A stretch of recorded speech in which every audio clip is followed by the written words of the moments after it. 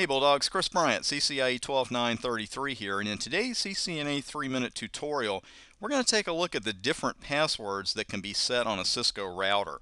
We're not actually going to be setting them in this particular tutorial, and this is actually a little more like the real world because you're not going to go into a client site on a daily basis or your own site on a daily basis and change the password. So while we have to know how to set them, we also have to know where to find them in a configuration and also which password to enter for which specific purpose.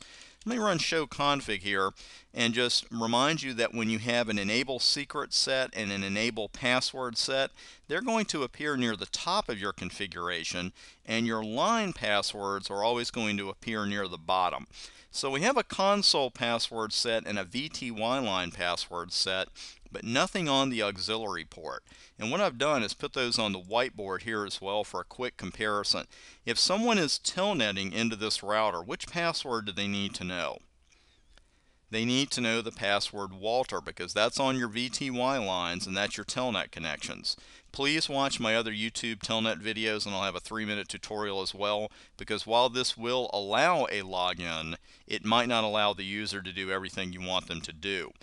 If they're or we are connecting directly via the console port, it's going to be this particular password right here, CCIE in uppercase.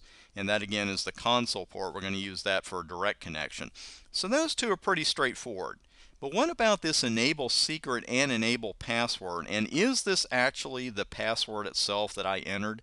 Let's bring the live equipment back up and take a look again. I'll run show config.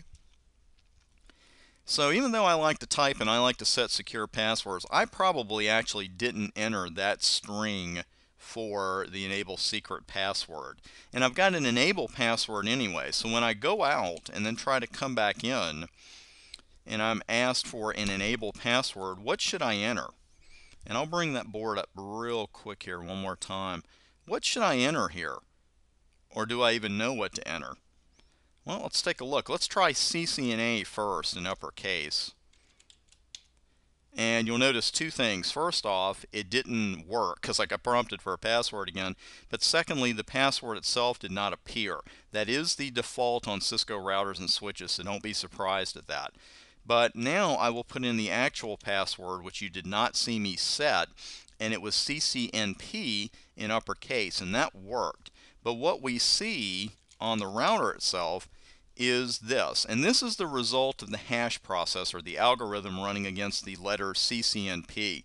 The enable secret password is the only one that's going to be encrypted by default in your configuration. And you're probably familiar with how to encrypt those passwords, but if not, make sure to watch the very next three minute tutorial and I'll show you exactly how to do that. But again, this is key. Don't try to enter dollar sign one, dollar sign BB, or whatever string you have here, and don't try, you know, the cut and paste deal because, and this is just an extra word of warning, real world more than exam. See what I did here when I tried to copy and paste this password? thinking this was it, which we know it's not. See that extra space I got there?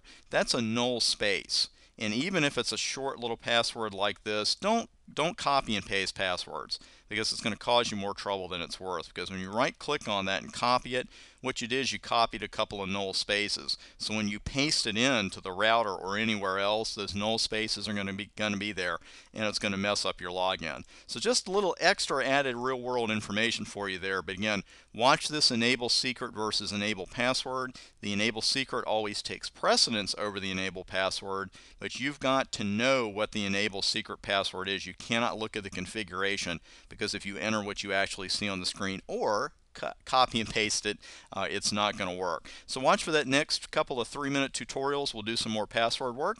Hope you enjoyed this one. I'm Chris Bryant, CCIE 12933.